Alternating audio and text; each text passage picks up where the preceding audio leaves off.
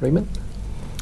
Um, our strategy for this year, I think, is going to be um, a difficult market, but we just focus mainly on the earning sustainability of companies uh, and the transformation of certain companies.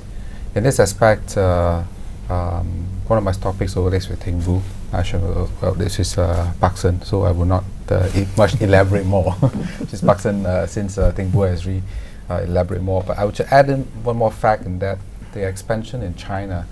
Um, they're not looking at the. You should look, look beyond the coastal cities. You should look beyond the Beijing, China, Shenzhen. You look at second tier, third tier cities. But the back of my second tier cities, if you look at, um, if you look at they get they get face value. Let's say a second rate city, smaller. We're talking of cities with population of 15, 20 million. These are not small, but by the reason they are not the three main centers, they are the second tier cities. But in terms of population, they can be as big as Peninsula. So these cities, I think, uh, and in five years' time, these second tier cities or will become first tier cities, and third tier cities become second tier cities. So the sustainability of that moving on is going to be tremendous if they manage to continue to execute right and be focused. Um, shareholder risk notwithstanding, right? Are they opening new stores in these second tier cities? Yes, I think the focus is there. I mean, if you talk of uh, competing in your Beijing and your Shanghai, it's getting more difficult, right? Uh, the people there has become more savvy in the sense that they are looking more for Western brands, more for looking for more for Western Western style shops. Your WalMarts, look, they will be buying your LVs. Uh, I think Beijing got the biggest LV store in the world, uh, next to Japan and in Asia. So it's they're going to be moving up market. So you're going to move for the next tier, which is coming up. I mean, the 20 years ago, the D brand to own for a Chinese consumer male is Goldlion. You remember that brand, mm. right? Now Goldlion is nowhere because the import brands have taken over, right? And this cycle will continue, right? Your second tier cities will take probably 10, 15 years to come up to be first tier, and your third tier cities will take about 10, 15 years to become second tier cities by just critical mass. So you have a long-term sustainable model that you can basically move your stores to where your future population, your future markets are. Right? So, and they're replicating all that into China. So I think it's a long-term model. The risk of that, I think, who says, is a shareholder risk, which I can, uh, um, which I can sympathize with, right? Because my next stock also belongs to the same group, uh, Lion Industries, mainly because of the steel, uh, the steel prices, and this stock is even traded cheaper versus its uh, uh, peers because of the same factor, the shareholder, um, the, share, the risk of a shareholder changing his mind and re remodeling the company. But at the moment, uh, I think they offer one of the better values in terms of valuation. I mean, we are this currently is what trading, I think five times or below five times. You just take a, you don't take ten times to double. Just take a seven or eight times is still about forty to sixty percent uh, upside to your share price. So we are not looking that they will basically be rated similarly to your Ann Joos, uh, but maybe a discount. But even that, that performs a better, much better upside, right? Qualifying again that shareholder risk uh, is of course pretty much uh, quite there. The third company is a large cap resorts. Um, basically, I think that we have got over the fact that resorts is uh, bailing out its own uh, um, uh, how to say group company Star Cruises by divesting it off, I think that the there was much better just at the cash flow. And a company like Resorts generating cash flow at uh, 500 plus million a year um, is self-repairing any balance sheets. Right, 500 million a year repairs a lot in the balance sheet. So within a year or two, um, I think Resorts will be back in uh, have a war chest, a big war chest again, and they can, and with that kind of uh, cash, they can easily raise another couple of billion in the market to make acquisitions, right? So I think that uh, Resorts is much better off in this in, in this environment versus Genting. Genting has a lot of capital commitments in the in the uh, integrated resorts in, in uh, Singapore, where cost where they hit with cost escalations again and again through GIL. So I would think a much more pure play now sheltered away from the possible cost increases is resorts, right? The and I think that the much rumored privatization, um, I don't think that happened.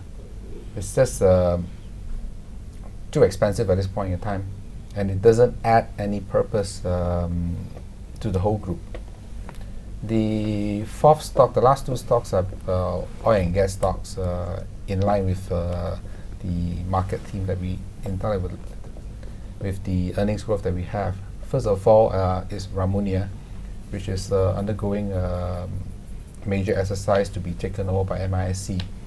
In that sense, that MM it's actually MMHE, which is a subsidiary of MISC. They need the yard space which uh, Ramunia has, and Ramunia shareholders is always wanting to sell up. So possibly by, by the time the exercise uh, concludes, uh, MISC will be the biggest shareholder in Ramunia, and will channel a lot of the work uh, from its yards um, to Ramunia. Okay, uh, they probably end up owning uh, a bit more than three quarters of Ramunia. So that's one the transformation play.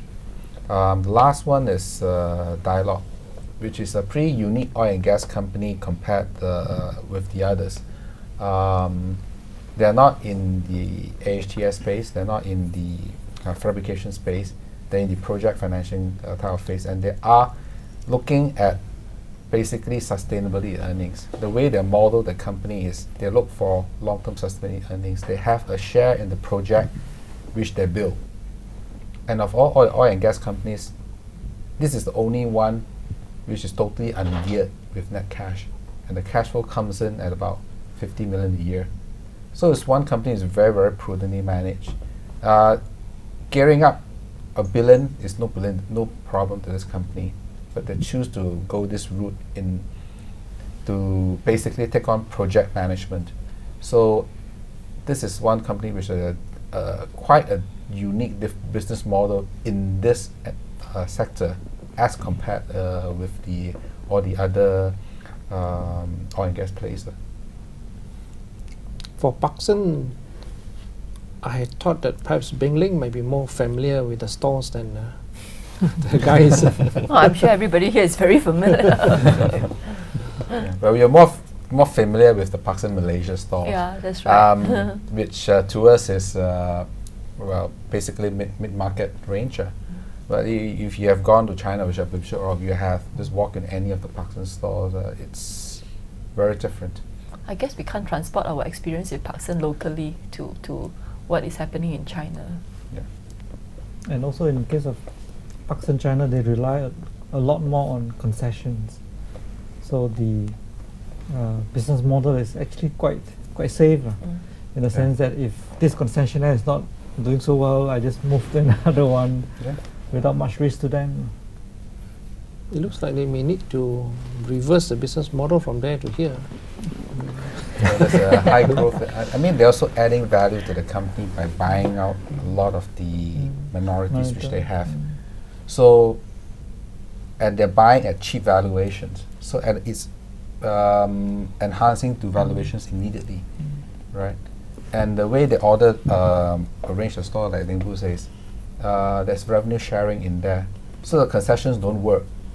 They're out immediately. They look for a new one. So it's it's just not a normal model where you just rent out your your shelf space or you rent out your floor space.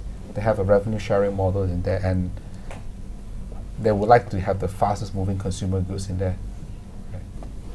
In steel, how long do you think this cycle will last? I mean, Malaysian investors tend to be very scared of teams and booms and busts. Well, it took uh, over a year before investors uh, latched onto the CPO team.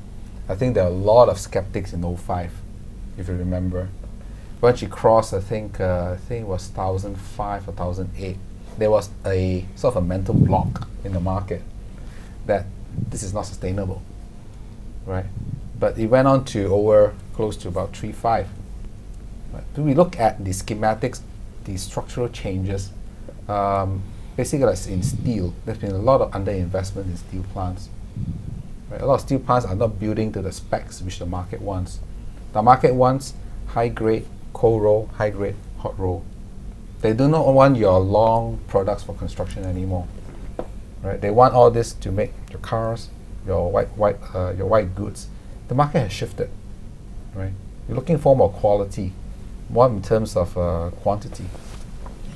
In terms of demand and supply conditions, in palm oil you may take seven years from planting to get a Mhm. good yield, but in uh, steel, you may be able to get new capacity within a year. Would this, you know, change that supply demand conditions within a year? Um, I think it takes more than that. We can add a blast furnace, add 20% of capacity, but we don't see uh, this being a major trend to all the uh, steel players that are doubling capacity, right? And like I said, it's very specialized. It's not steel is not a commodity product. You have long, you have flat, you have different grades. You have high, hot, cold roll. You have specialty steel, you have stainless steel.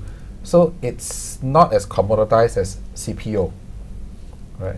So if you are making a long, uh, long product, for you to shift over to a, a flat product, you might not have the expertise, although you have um, basically a steel facility.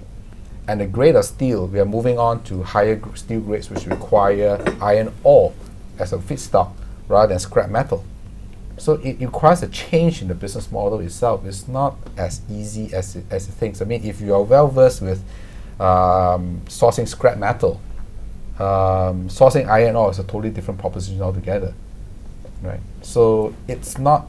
It looks same same, but it's not same same. lah. Wouldn't Does have it- Lion Diversified been better than Lion Industry? Um, it's- we can get a long, very long discussion Yeah. here.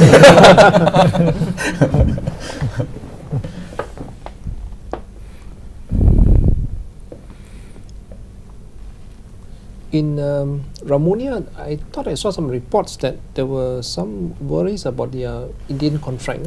A large Indian contract where some people thought they bid uh, too low a, price for it. Um, that, that's one of the concerns.